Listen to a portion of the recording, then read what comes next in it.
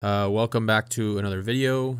I realize I probably shouldn't um, hold the sock mic so close to my face, but I don't know. There's not any really other way for me to hold it. But anyhow, um, so as you first might notice, my mustache is gone. It's November 1st, so it's the start of Movember, uh, which is, you know, men's uh, health awareness for testicular and prostate cancer and every year uh, I shave my mustache because um, it's supposed to be like no shave November, but if you have a mustache, you know you gotta kind of start from you know start over. So I'm gonna do no shave November, and I'll let my whole gross beard grow out for a month, and it'll be all itchy and gross, but it's all right. And then at the end of the month, I just shave off the beard and you know stick with that. Um, but I just kind of wanted today this video. I guess I will title it "Sleeping" or sleep. I don't know. Uh, it's just talking about the importance of getting quality sleep because I feel like over the past few weeks I have not been. Um, I've been tracking my sleep with my watch, and apparently Garmin's supposed to have pretty good tracking, and I have not been uh, getting the best sleep, apparently. I feel pretty good when I wake up, but then as the day goes on, I feel like my energy gets kind of sapped quicker than it normally would. Um, so I'm trying to address that. I don't really know about what I'm gonna do. Um, you know, just you know, they say the definition of insanity is doing the same thing over and over and expecting different results. So I got to change something. I'm not too sure what. Uh, I'm trying to find a good time for me to go to sleep and wake up. I know if you do that at the same time every day, it'll uh, you know improve your sleep quality. But who knows? Uh, and also the role that sleep can play in you know, just everyday life. It's so important um, if you're, you know, into health and fitness, or even if you're not, and you want to just, you know, be the most productive and, you know, best version of yourself you can be. It really all starts with a good night's sleep. So that's one thing I've kind of realized is really important over the past few, um, well, the past year and then the past, especially the past few months and weeks, especially when I feel like my sleep quality has been not the best. So definitely going to be researching some things to do to fix that. Uh, just a couple other things. I guess that's kind of the main topic. Um, then we'll kind of just segue into some other stuff. Uh, I've been really busy with school the past week or so. Um, haven't been uploading as many videos as I'd like to have been uploading.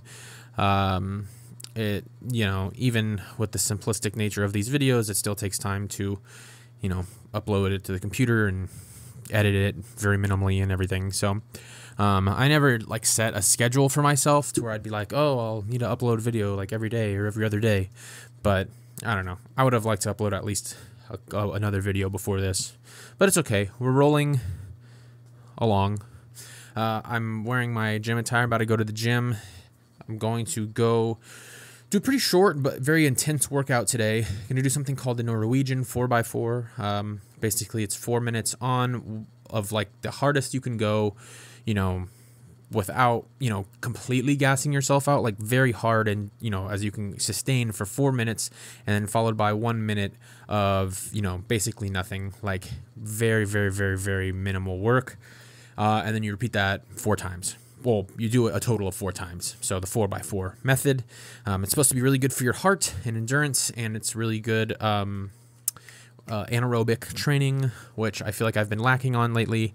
Um, and again, sleep will help with uh, your training and recovery. I feel like uh, some of the things that I've been dealing with as of lately are injuries.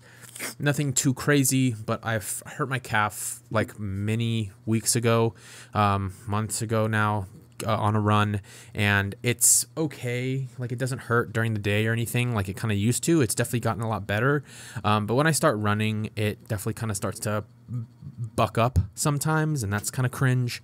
And also, uh, recently, more recently, my hip, my right hip, in the I don't think it's the actual hip joint itself, like where the femoral head meets the acetabulum, which is like the socket part of the hip joint.